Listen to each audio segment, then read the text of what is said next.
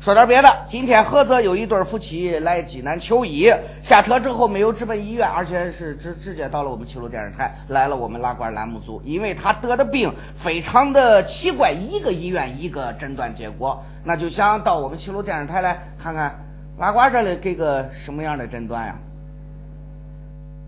都说在家靠父母，出门靠朋友。菏泽卷城小伙小孟在济南一下车就犯了难，在这偌大的省城，俺可没啥亲戚朋友，自己双目几乎失明也就罢了，更要命的是老婆这病是刻不容缓啊，没辙了，哎，找拉管。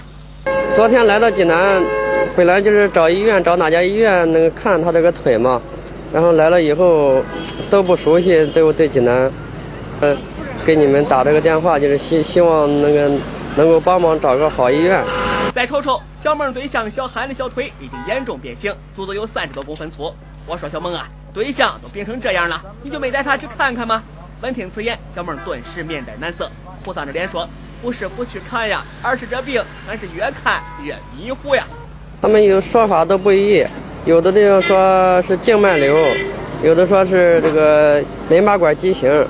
几个医院的几种说法也让小孟两口子没了主见。小韩到底得的是啥病啊？也是成了两口子的心病。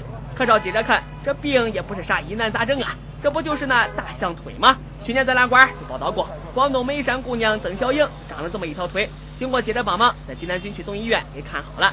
你两口子也别病急乱投医了，咱啊还是带你去济南军区总医院吧。烂过没有这里？没有，他就是有的时候就是摔下来都经常擦。这个腿上可能差不多，这是神经纤维瘤。陈主任详细的询问了小韩的病史，结合这检查结果，陈主任说了：“记者同志啊，你呀可别觉得久跑医院乘凉医，想当然的就认为他这是象腿病。小韩这病啊根本就不是大象腿。呃，根据这个目前的情况看呢，是个神经纤维瘤，还是个多发性的。那个腘窝部呢还有一个大囊肿，这个囊肿啊起码得有一个得有一个鸭蛋那么大，这个大囊肿影响你活动。”陈主任说：“神经纤维瘤长到小韩这个样子的还真是不多见。眼下最有效的治疗方法就是进行手术。像长这么大的现在不太多了，有比这大的，但是像你这种情况现在已经很少了。为什么呢？早期都开始治疗，很小的时候就开始治疗。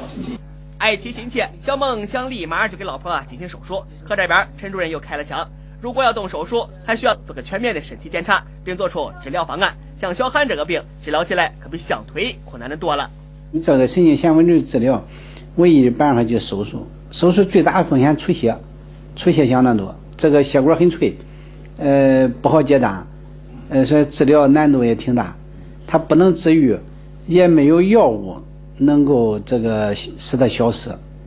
听到陈主任这么说，小两口决定回家再和家人商量一下。不管怎么说，小韩这病总算是有了眉目啊。就是想现在看好了之后，以后想和他们一样正常走路什么的。这记者就是记者，专家就是专家，隔行如隔山。最后还是感谢我们军区总医院的专家啊，给出了正确的这个诊断。小两口过两天就会重返济南进行手术，我们也会继续关注这件事情。还是希望姑娘能够手术成功，过上正常人的生活。